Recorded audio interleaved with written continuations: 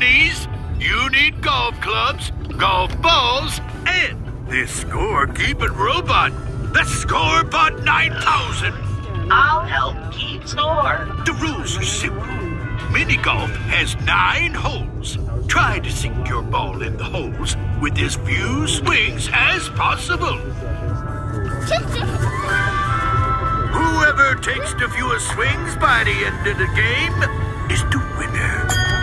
May the golfer with the lowest score.